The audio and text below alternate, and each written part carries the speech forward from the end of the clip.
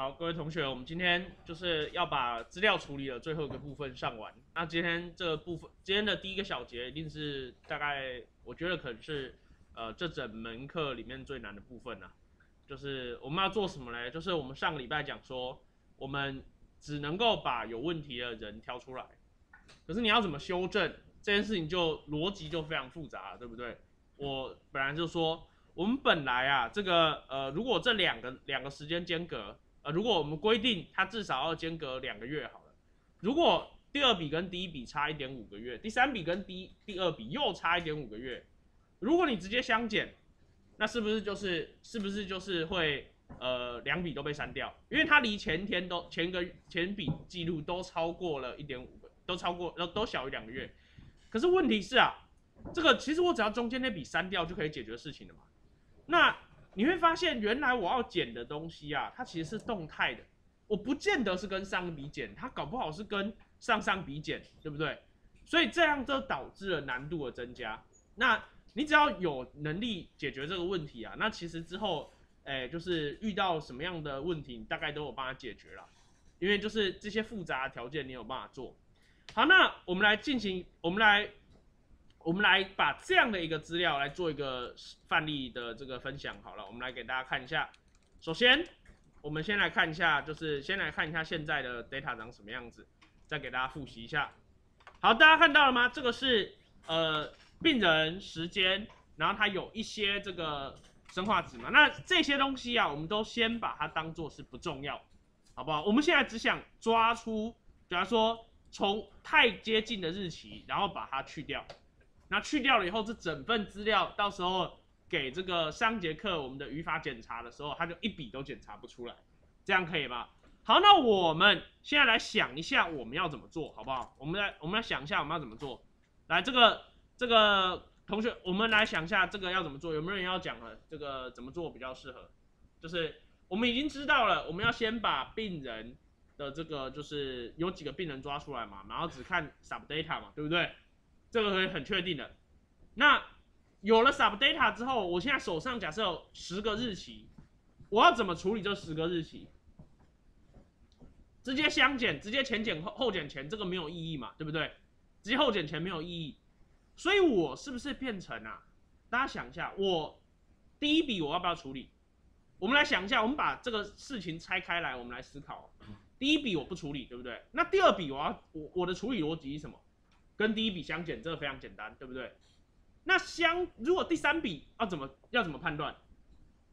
如果第一如果第二笔有符合条件，那我就跟第二笔比，否则我就跟第一笔比，对吧？那第四笔要怎么看？如果第三笔有符合条件，我就跟第二笔比，哎，第三笔有符合条件，我就跟第三笔。如果没有，我就看第二笔。那如果第二笔也没有符合条件，我就跟第一笔比。所以你发现了什么事情是重要的？上一笔符合条件的日期是重要的。所以我们在做这个操作的时候，我们必须在回圈中不断更新上一笔该被比较的日期是哪一笔。如果发生某些条件，它才被更新，否则它就一直不更新。那它一直不更新。我就一直就是比那一笔了，这样懂我意思吧？所以不是前减后，而是我减一个它会更新的资料，这样懂我的意思吗？然后我把这样的答案填到我的表格里面啊，填答案等一下我们再来想要怎么填。但是中间这个逻辑很重要哦，就是我要设计一个动态更新的一个 parameter，这个资料我要暂存起来，然后我是一直跟它比，这样懂我意思吧？这个暂存的逻辑很重要。好，你了解了这个暂存的逻辑之后，我们就来做一些实验。首先，病人的数目总共有十七个，那我们先挑一个病人来开始做。我们首先在最开始的时候，因为我们要填资料嘛，对不对？所以我们先产生一个新的变相，叫 wrong date interval。现在你看这里，它全部都是 NA，代表我现在还没检查，我现在还没检查它适不适合。好，接着我们先选第五个人来做看看。好，就选第五个，i 等于五。然后 patient 等于 levels 第五个，对不对？然后我们先看第五个病人他的状况，来来看一下，哎，看起来这两笔有问题，对吧？那这一笔如果跟这一笔比就有问题，跟这一笔比就没有问题，这样可以吧？那这一笔呢，我们是不是这一笔有问题？那这一笔也有问题。好，所以关键就在这里，我们要设计一个方式，让我保留住第一笔跟第第二笔，呃，第三笔，对不对？好，我们来看我们要怎么做啊？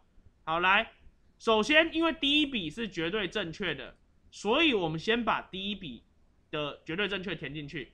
注意一件事情，到这里为止，这个是用 patient 第五个 patient，并且选 wrong interval，所以这里出来是五个 NA，这个没有问题吧？对不对？好，这里我们要教一个非常特别的技巧。索引之后，原来还可以再索引，索引之后还可以再索引，所以索引完了以后，这个五个里面的第一笔，它一定是 false 嘛，对不对？当我这一行打下去的瞬间，我们看一下原始的 data，看的哦，索引里面还有索引，在这一笔，它是不是第四十一笔？它是不是被丢填入 false 了？好，看着哦，第四十一笔是哪一笔？是不是第五个病人的第一笔？这没有问题吧？所以索引。索引的索引之后再索引这件事情是我们必须要就是知道原来还可以这么搞，索引完再索引。好，那不过这个其实也没有那么也没有那么难想象啊，因为还记不记得我们在做 list 的时候，本来就是索引之后再索引的嘛，对不对？好，那接着我们来看一下，你看这一笔是不是已经被填入 false 了？这样可以吧？这一笔已经被填入 false 了。我没有打，虽然我没有打语法，不过这个语法大家应该不会看不懂啊。如果看不懂，你们要讲哦，好不好？好，继续。好，那透过回圈，我们就要检查它是否间隔不够啦。那我们现在，首先我们要先决定这个 n date，我们要先计算出这个病人有几个 date。那这个病人有几个 date，我们可以去把他的 date 索引出来了以后，呃，少一个，把他 date 索引出来了以后，问他 length，这样 n date 等于五。如果 n date 大于二，我才要继续进行嘛，对不对？如果它大于等于二，我才要继续进行。如果它等于一，那我就不用做了。所以我们现在先来做，我们现在先来把这边复制下来，我们来看一下。好，首先我们要先把上一笔 force，因为 force 就是成功的意思嘛，对不对？我们要先把上一笔 force 的部分把它抓出来。我们可以用这串语法。data 里面 patient 要满足我的条件，并且 wrong interval 要等于 force，并且不是 NA。好，这样子的话，我可就可以找到，我就可以找到上一笔这个跟这个病人有关所有他满足条件的这个满足，就是他没有问题的这个比例，没有问题的这个就是 date，这样可以吗？好，这里这里可以做一个节省啊，就是如果你不想这样写的话，你如果不写 is n a 等于 true 的话，你这样看的话，你会看到一堆 n a，对不对？那如果你不想要看到一堆 n a，你除了刚刚那样子以外，你还可以在这里改 percent percent，对不对？这个我们好像前面很多堂课都有教过了。好，这样子抓出来之后，它会它会变成一个新的物件，叫 four states。这个 four states 代表是。它满，它留着保留的保留的这个日期，对不对？那保留日期可能会有很多啊，我要抓的是哪一笔？最后一笔，对不对？而前面的我不比了，我只抓最后一笔。所以我把 for state 里面，我给它一个什么索引？length for state，所以我是拿它的最后一笔，对不对？拿它最后一笔得到了 last date，这个 last date 就是关键啦。我需要把先当前的 date 就是第 k 比 date 跟 last date 做相减，得到 difference。好，我们现在来做得到 difference，然后这样子它的 difference 多少？五十七。五十七我要怎么解决？来，五十七如果小于六十，那我就要填进来。那它填进来就会触嘛，对不对？来看着，我这样填进来了以后，我现在再看一下这个人，看到了吗？第一笔是 false，第二笔是 true，对不对？可以接受吗？好，接着我 k 等于三，再做一次实验。来，k 等于三，for state 现在他抓到哪些？他只有抓到第一笔，对不对？第二笔没有抓到。好，把他的 last date 把它抓出来了以后，last date 当然就是那一笔资料。因此现在第 k 笔的相减，我们减出来是八十一天，它是跟第一第一笔减，不是跟第二笔减，这样可以吧？为什么？因为我已经做了条件限制。好，接着。我问他是否小于六十，我再问完之后再按 run，你就看到，哎，他这里是不是就被我保留了，对吧？好，那 k 等于四的时候，我们再做一次，four stats 应该要有两笔，对不对？然后留下最后一笔，最后一笔是六月十号，好，留下最后一笔之后，我们再来看 difference，这个 difference 啊，它显然是小于呃六十天的，我们再把这个答案填进来，我们再看一次，它是不是又填进来了？好，你如果完全了解了这整套流程之后，要把它打包成 K 回圈，好像就变成不是那么困难了，对不对？好，for K in 多少到多少，二到 N 点 date，可以接受吗？好，那这样它可以被打包起来，对不对？好，那这样子的话，呃，但是前面要有个条件，if N 点 date 它大于等于二，我们才做这件事情，否则我们就什么都不做，这样可以吧？OK。好，我们现在来这样子的话，我们来执行一下，啊，全部执行。那第五个病人是不是被我做完了，对不对？啊，那我们来看一下第六个病人，我们实验一下。第六个病人只有一笔啊，真是不凑不凑巧。我们看第四个病人好了，哎，不错，第四个病人很多，哎。这一笔不符合，这笔不符合，你看这笔是不是又符合了？这一笔哎不符合，差一点点。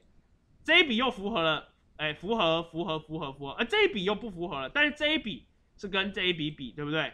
好，这样以此类推下去，好，是不是我们全部都可以填完了？这样可以了解我的意思吗？好，了解我的意思之后，我要把它打包成 i 回圈，那也没有那么困难嘛，对不对？来，i 是从多少到多少？for i 是从一到。length length levels patient 嘛，对不对？好啊，全部把它贴上，贴到这里为止。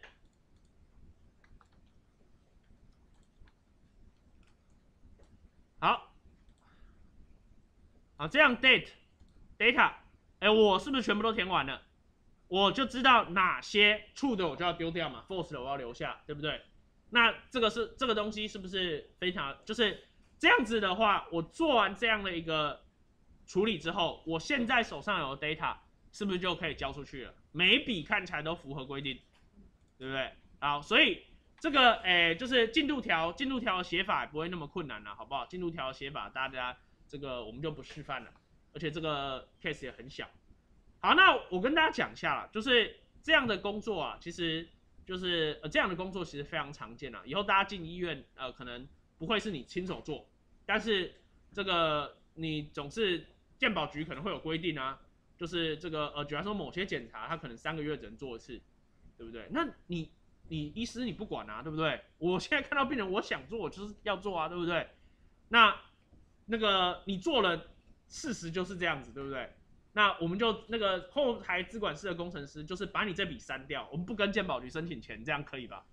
对不对？那这样子的话，所以鉴宝局看到的资料都是对的，但是你要知道后面都有人在做这件事情，所以这个这个这个事情是非常重要的哦。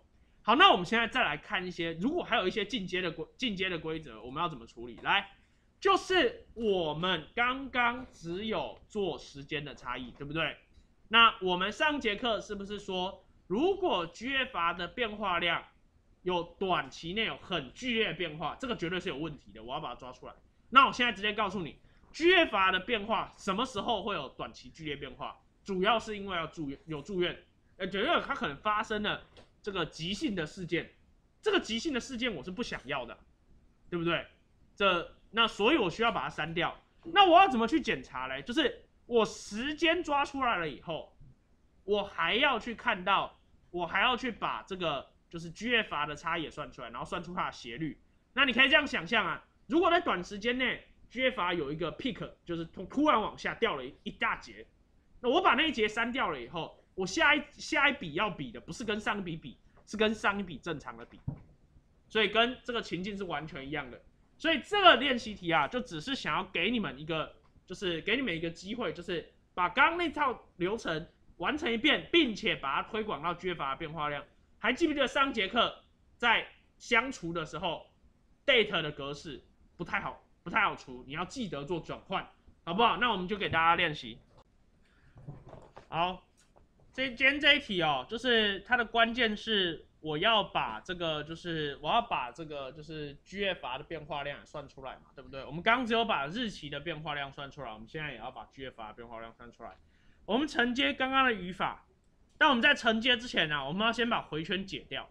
怎么样解掉呢？一层一层解开。好，在这边 i 等于一，i 等于五好了，我们就找第五个人来试这样子。好，然后这样子的话，这个 k 回圈也解掉，这样比较简单一点。我们这里这个放在后面好了，我们 k k 点二再重新开始。好，那我们我们一路做到这里为止，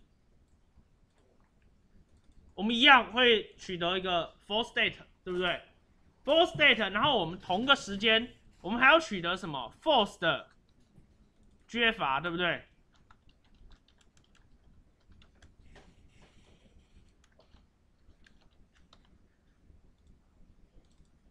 好，你取得了 false state 跟 false GFR 之后，接着我就要取得 less state 跟 less GFR 嘛，对不对？所以这个这个非常简单，这个就只是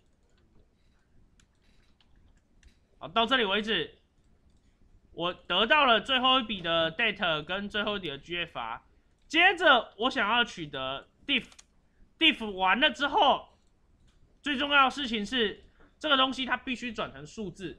等一下才可以相除，对不对？好，那总是我总是可以取得一个 diff GFR 嘛，等于什么？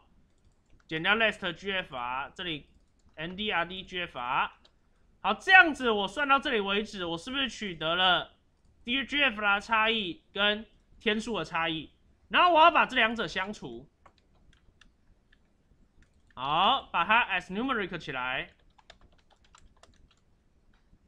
好，这个是日斜率，对不对？日斜率乘以三十是那个乘以三十是这个就是呃就是月斜率。好，我希望这个是这个我们把它等于这个 slope。好，我希望 slope 它如果 abs slope 它如果这个大于二的话，那我就要把它删掉嘛，对不对？剩下我就要留着。好，这样子的话。我就可以完成，我们来看一下，我们就可以完成这个病人，这个病人的就是这个病人的这个 data 了。我们来看一下哦。好，这一笔也是 OK 的。那我们再看下一笔 O 不 OK，好不好？那我们要怎么把它包成回圈呢？我们把它把这一大包全部复制下来，把它包成 for k in 二到多少 n 点 date，对不对？好，这样你应该包回圈，你应该会觉得。就是你应该到目前为止，你会非常熟练如何打包成回圈了。好，那这样我们来看一下第五个人，我们再做一次。好，我们看第五个人有没有问题，我们把他的 MDRD GFR 也秀出来好了。第五个人，哎，这个有问题哦，他短时间内变化太剧烈了，这样可以吧？因为我们刚刚说那个月斜率不能超过这个二嘛，对不对？他看起来。的确有接近一点八，但是它这个它有点它下降的实在太快了，对不对？那这一笔也是同理可证。那这个因为已经过了非常非常久了，所以下降自己下降三也不会怎么样，对不对？好，那我们接着把 i 回圈打包起来。好，length，level，levels patient。那这样子我就可以只留下我想要看的部分了。好，全部执行，然后我们来看一下我们的 data，好，是不是有一些有一些，假如说第二笔是有问题的，我们来看一下第二笔是不是真的有问题。好，哦，它上升的有点夸张啊，对不对？不知道发生什么事了，有一个很大幅度的上升。好，所以说这一题的这个答案呐，大概大概就是这个样子。那我们后面比较简单啊，我想说，我们再给大家就是呃三分钟的时间，让大家就是把这个过程把它过去，好不好？好，我们接下来就是最困难的部分已经过了，好不好？这个大家不用，这个之后再也不会遇到这么困难的题目了。那我们现在要开始教个新东西，这样子，这个新东西叫套件，也就是说，在目前就是在目前这个当下之前，呃，你会发现你好像几乎没有学到新函数，对不对？啊，函数就是那二十个，啊，好像经过一些千变万化组合之后，什么事情都做得出来。那现在开始，我们要大量去学习新的函数了。就是之后可能一节课就会学十个、二十个这样子，那这个不需要特别记，因为你只要记住哦有这个功能，那在你需要的时候，你再到那堂课讲义上去找就好了嘛，对不对？其实我跟你们讲啊，我也记不起来那么多语法啊。我大部分的时候，我要做事情的时候，我也是说，哦，我我我好像上课，我我可能放在哪里，对不对？然后可能我上课上过，我就那边贴语法，或者是我之前某一个 project 我有做过，然后我就那边贴语法。不然你叫我全部都背起来是非常困难的。好，那我们现在来教套件。这个刚刚啊，我们这个，哎，就是涉及我们就是我们现在要教一个新的套件，叫 data table。这 data table 你直接点连接，你就可以看到它的说明文件。好，这里我就我就不点了，好不好？我们现在要来教大家怎么去安装套件。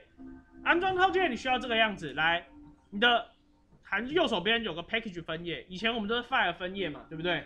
这有个 package 分页，按进去之后，这边是不是有安装？点下去之后，这里打上 data 点 table。好，按安装，你就可以开始安装啊。因为我已经安装过，我就不安装了，好不好？安装你可以用这种方式用点的，你也可以直接复制这串语法安装。安装完成之后，你需要 library，library 之后才可以，就是 library 这样就是有成功。如果 library 的时候我随便打一个哦，假如说呃一定不会有这个套件嘛，对不对？他就会说找不到这个套件。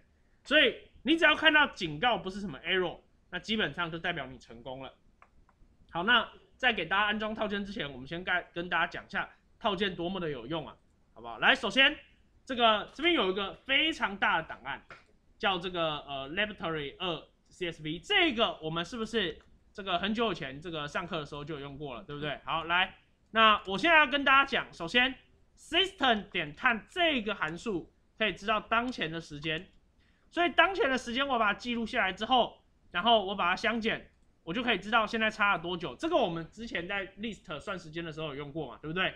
好，现在我想要做个实验，我现在想要把 lesson 这个 lesson 这个就是这个今天是第八课嘛，对不对？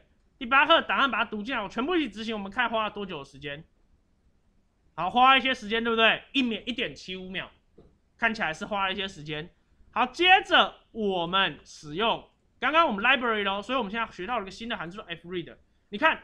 同样都是去读 CSV 档，读一模一样的档案，哦，我们居然有两个函数，所以我说，哎，之后会有非常多函数有相同的功能。好，这但是啊，我们这样子，哎，我再 run 次哦，我们来看花了多久的时间，好，零点一秒，这个差距够大吧？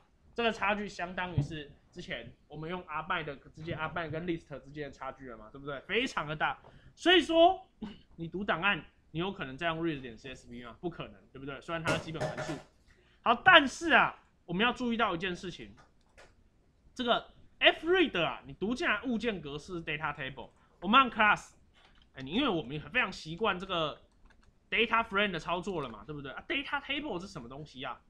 对，这个这两格式不一样啊，所以我们现在再看一次我们的 data two，看起来好像是一样的哦，看起来好像是一样的，那实际上它到底有哪里不一样？我给大家看一下，你有没有注意到这里是不是有？冒号，这里是不是没有，他们有很多东西不一样。举例来说，我现在打 raw names，啊，raw names 还是有，好，没关系。这个 raw names 啊，data table raw names 是一定得按照顺序一二三四五，它不能够去，不可能会去重复去指定这样子。所以它有一些麻烦的地方啊，你要怎么去解决这个问题？你需要给一个额外的参数，data table 等于 false。那你下了这个参数之后，我们再看这时间的比较，所以上面可能还是是一点多秒。下面还是这么的快，但是啊，你看它的 class，哎，就是 data frame 对不对？好，所以说可见这个这个就是这个问题是这个就是哎，就是这个是很快的。好，但是你如果去按 all equal，你还是它还是告诉你说它不是完全一样啊，差别在这里就是我们的 data one 啊，它 string as factor，它 default 是 true。那我现在如果把它改成 false，我再读一次，它们就完全一样了。好，如果你的用的 R 的版本是四点零版以上，你们如果是用自己的电脑，大部分都是新装的，四点零版以上的话，你不打这个指令，你直接按 O equal，它也是它出现的也会是 true。好，哎，还是不一样。哎，为什么？到底还有哪里不一样？好，我们哦，encoding 的问题，哎，这个 encoding 的问题，这个这个就是。这个就是那个什么，这个呃中文字的问题啦，好不好？就是我们有一些这个这个编码是错的，好不好？这里这里的时间编码是错的，因为在原始的时候这个我们读进来的时候，在这里它是上午，然后这个上午是错的。好，如果去除掉这个因素的话，它们其实是一模一样的了。这个我们到时候这个之后再转都可以，好不好？那除了读档以外啊，我们我们这个这个非常容易啊，所以我就不让你们示范了。那除了读档以外啊，你发现其实你写出档案也可以用 f write 来加速，只不过 f 就是 fast 了，好不好？本来是 write 点 csv，我们看一下 write 点 csv 花了多久的时间？好，零点九三秒。那 f write 呢？啊，只有零点零六秒，所以可见啊，这个就是我们绝对是，我们绝对是有了这个套件以后啊，我们绝对是用套件。好，所以我们在这节课，我们在这个小节，我们要教大家的主要就是说，这个呃，就是这个套件这个东西啊，它非常的好用。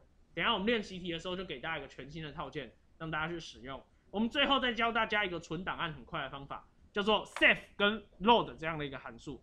save 这个函数你用了之后，它存出来的东西是一个点 r data，这是一个 r 的物件格式。那我我很喜欢用这种方法存的原因，是因为当你把它 load 回来之后，它的物件属性完全还是保留。比方说，你把它 load 回来之后，我现在把它清空，我把它 load 回来，它的这个物件属性完全保留。它本来该是 data frame 就是 data frame，啊，不然的话，有时候你把它写成 CSV 档出去。它读回来的时候，你又要重新命令它哪些是 factor，哪些是 date，哪些是什么，对不对？但是如果是使用 save 这个函数，它就是原汁原味的把所有的档案全部写出去，呃，并且它储存空间比较小哦。你如果仔细注意看的话，它哎居然是比较大，好啊，没有关系啊，这个小，因为它可能储存了更多东西，它有时候它通常会比较小，好不好？好，那这样子的话，我们了解了这件事情以后，我要给大家。很短时间，先让大家练习前面那个 write，就是这个 data table 的这个操作。我希望这个部分你们大概花五分钟的时间复制贴上。那现在啊，我想要给大家一个有趣的，就是任务要做，就是我们学会怎么运用套件之后，我们希望要想个办法，我们要可以应用更多套件。那应用更多套件，这个 R 的套件可能有两三万种，我不可能每个都教你们嘛，对不对？呃，更多的时候你们是找到。好像有人用这个套件，那我再来去就是学会使用它。那所以我们要怎么样学使用呢？举例说，我想要用 R 把图片给读进来，那你图片怎么读进来呢？我不会啊，对不对？所以你可能要去 Google。好，你 Google 了以后，它可能会给你，哎，你看对不对？Display image in R 这个巴拉巴拉啊，它给了你一些范例。那这个范例前面是不是有 library？这说明什么？你要用套件。好，library 这个 read JPG 它显然就是 my file，那这个显然就是档名嘛，对不对？照道理讲，复制贴上，答案应该就会出来。所以，好，要下，当然你还要下载了，好不好？对，好，那所以你这这个练习题的工作就是，你我希望你可以显示出一张图片，你不见得要显示这张图片，你要显示这张图片就另存图片，好不好？你这样就可以把这张图片下载下来。但是你可以上网随便找一张图片，把它读进 R 里面，把它显示出来，好不好？我们。这一节练习题就做这件事情。好，那我想就是关键是套件 JPEG。那这个 JPEG 套件你安装完了以后，首先你要先 library 它嘛。好，library 完了以后啊，其实你应该有注意到，关键是这个函数 read JPEG，对不对？好了，我们来看一下 read JPEG，它这边是不是有告诉你，哎，source？所以重点是你需要找一张这个就是 JPEG 读档，对不对？那如果是这个 PNG 的话，你就要用其他的。好，那你如果看下面的话，你会发现这里其实是有范例，这里是有范例的。我们来，我们来复制一下。哎，你看这里其实是有，而且甚至我还可以把它放在不一样的地方，对不对？哎，怎么怎么去显示呢？这里是不是有一些数字，对不对？那其实就是下、左、上、右、下零点二、一点二的部分在这里嘛，一点二，对不对？好，然后左一点二七，然后一点八上，然后右是一点三七七三，这样可以了解我的意思吧？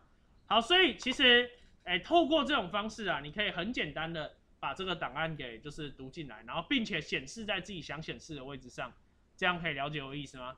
好，那我想就是这一题啊，非常就是等于说只是给大家一个简单的练习啦。然后教大家说哦，原来套件是这么的好用，这样子。那很多以后有一些功能哦，那个很复杂，我们也不会写，诶，或者说这个懒得花时间研究，那就直接用别人的东西就好了，这样会比较简单。好，那我们接着再来上今天的最后一个小部分。那今天的最后一个小部分是这个样子，就是这个我们是不是很常用 length levels factor 这样的一个组合？我们很常用嘛，对不对？好，这个东西是不是非常的讨厌？它讨厌在哪里？就是它就是不好看，这样懂我意思吧？就是主函数里面放函数，这就不好看。更何况有的时候。它还会，它还会有什么逗点要干嘛？啊？就是还会下一些参数，这样懂我的意思吗？那我们要怎么样去解决这个问题呢？我们解决的方法，我们我们这样可以得到二十五嘛，对不对？我们解决的方法是，我们希望啊，我们可以用这个，就是我们可以把它拆成不同行，对不对？实际上我们之前用的是拆成不同行哦，但是拆成不同行，呃，它是不是就会存下一个垃圾？好，你当然了，你说存下。levels factor 这个是我等一下要用到啊，或者是存的存下 n 点 test name 这个我等一下也要用到啊，这个当然要存，对不对？可是有的时候函数里面有函数，这个就是它可以很复杂，而且存下来的东西我可能是不想要的，所以有没有什么方法我可以增加我程式的可读性，并且不会额外储存很多垃圾物件呢？那答案是有的，我们需要用到这个套件，这个套件是。哎，这个套件它会给出我给我们一个非常特别的运算值，是这个 percent 写又大号呃大于 percent，这是说左边的东西我直接丢给右边的函数，再丢给右边的函数，再丢给右边的函数。那你说这样写有什么好处？这样写就是比起联合函数，它是不是看起来干净很多？而且我以后非常容易，我可以这样改，我就可以把它改掉了，对不对？好，而且最重要的是什么？你知道吗？就是。如果今天我已经知道，我已经知道，假如我已经知道这个东西，我要先 levels，那我是不是贴完之后，我是不是要到前面 levels？好，然后接着，呃，要先 factor。好，打完 factor 之后，我再 levels。你有没有注意到一件事情？就是我打完这串之后，我常常需要再到最前面，然后去这样打，是不是很麻烦？这样听得懂我的意思吧？哎，可是如果你是这样打嘞，这样是不是也是蛮符合我们的，蛮符合我们的使用逻辑？我们直接 percent 乘 percent，然后 factor，然后 percent 乘 percent，哎，percent 又大于 percent，然后 levels，我这样是不是，我这样是不是蛮方便的？这样懂我意思吧？就是我打我打，就是我在打城市码的这个顺序也是符合我的逻辑的，对不对？好，所以说。这样的一个东西吼，它很重要。它重要的是什么？就是未来如果你的城市员你都是要自己看，那你也保证半年后自己也还是可以看得懂，那当然是没有问题。不过正常来讲，我们会喜欢用，如果你要同你在同一行要同时要出现非常多函数的时候，我们会喜欢用这个符号去把它代替，而且这样打起来比较方便。好，这只是一个 coding 的习惯而已。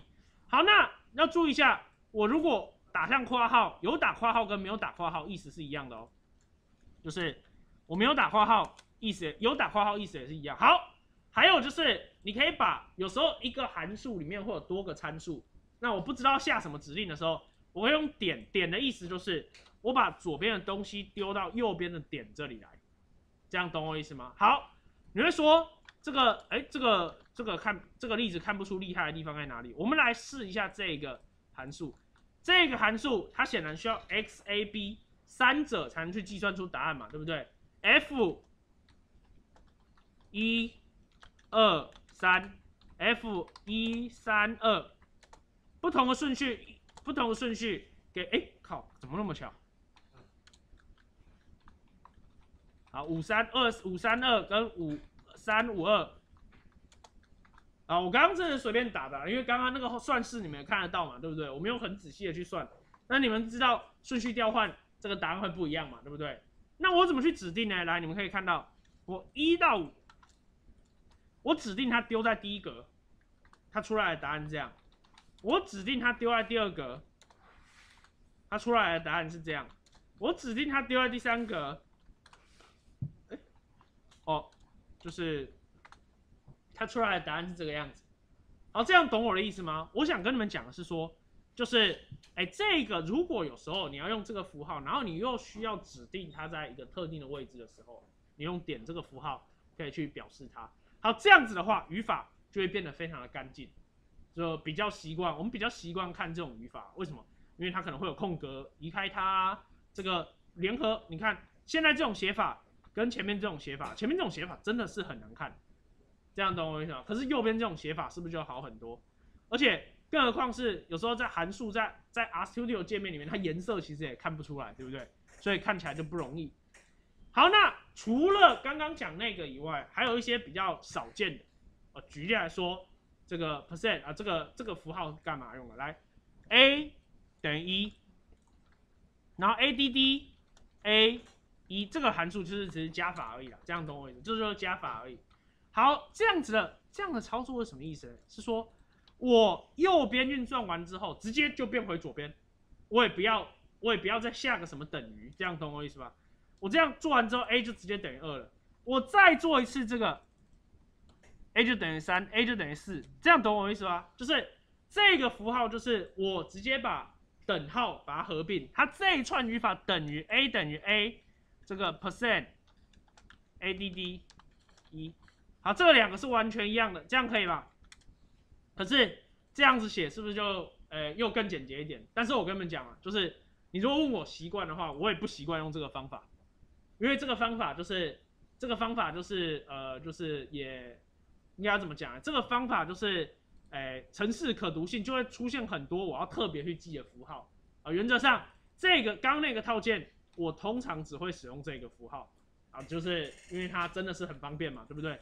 那你说这个我这样写，我还真的觉得有时候我没有写等于，我真的是觉得有点怪怪的，对不对？好，那我们再来看一个有趣的例子啊，这个有趣的例子是这个样。好，就是我们现在我们来看一下我们现在的这个 class。